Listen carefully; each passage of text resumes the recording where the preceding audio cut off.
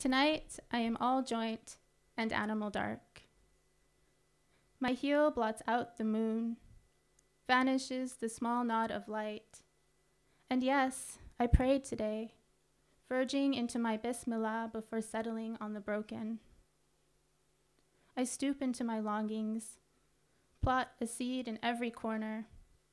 Last week, I titled another page with my body and surrendered every bending, splitting line of myself to the making. When we refer to plants, we call this positive phototropism, a body rivering toward the light. I want to river toward the light. I want to lean my neck toward a thing until I, too, become ism, scientific, and named into truth. Today, I walked through a dream that wasn't mine, and I thought of you waiting at the end of it, as if to gather me. And maybe that's just the kind of woman I am.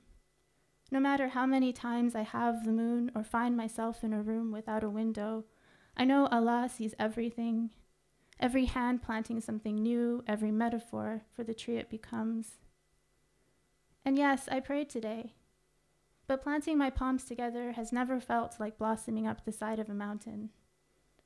The only time these hands have ever flowered, have ever been used for something good, was that spring at Yamnuska, where we found a clear blue door of glacial water, and I walked right through your reflection.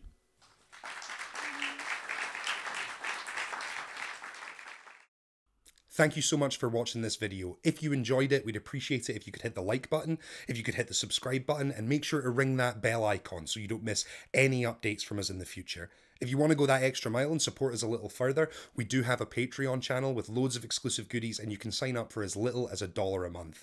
We appreciate your help, guys, and hopefully we'll see you again soon.